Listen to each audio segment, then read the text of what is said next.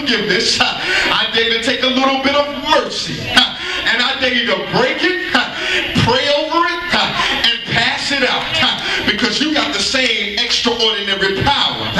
And feed it to the ones who are hungry for a pardon.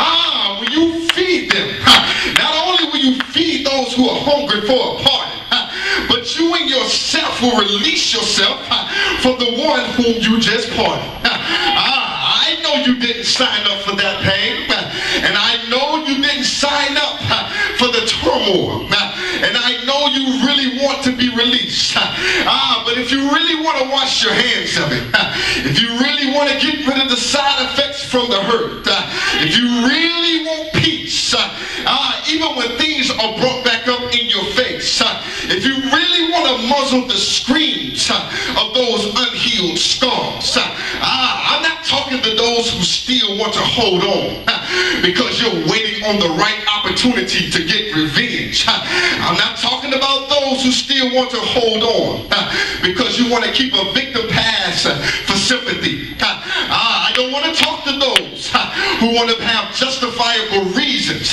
to act out of character because of what happened to you.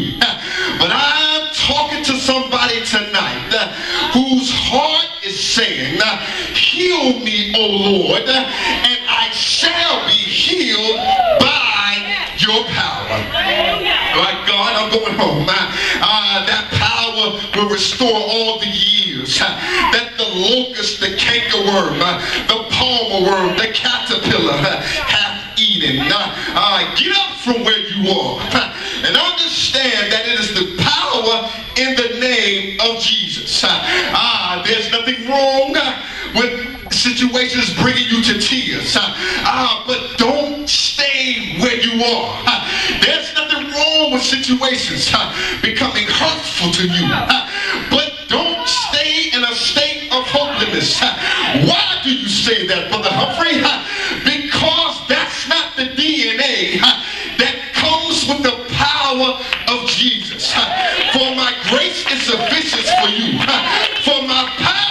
Is made perfect in your weakness. Ah, there is another part of you. I know you cried, but there's another part of you. I know it hurt, but there's another part of you. I know you felt pain, but there's another part of you. Which means you were built for victory. It means that you are not to lose. It means that you can't help but overcome. You were made to triumph regardless when Lazarus died, but his greater stepped up to the plate and said, Lazarus, come forth. Yes, he cried in the Garden of Gethsemane and said, let this cup pass from me. Ah, but his greater stepped up and said, nevertheless, not my will, or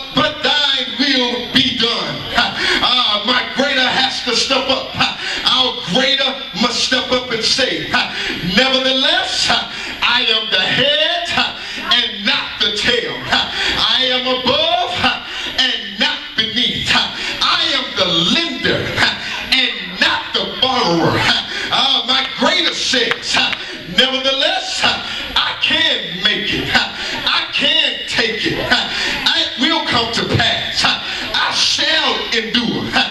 Nevertheless, it's going to be all right. Nevertheless, I am coming out. Uh, you thought I was dead. When you thought I was dead and you put me in the tomb,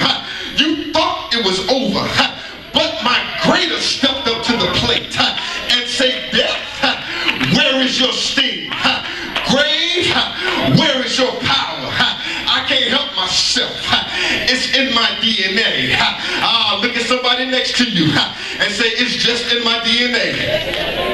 I can't help myself. I can't help myself. I can't help myself but win. It's in my DNA. I can't help but overcome. It's in my DNA. I can't help but become more than a conqueror. It's in my DNA. I can't help but be healed. It's in my DNA. I can't help it that I got a raise. It's in my DNA. I can't help that I got a promotion. It's in my DNA. You don't have to swap my cheek and you don't have to take a hair sample. You don't have to call Jerry Springer and you don't have to call Maury Povich. The results are already in. Jesus the Christ,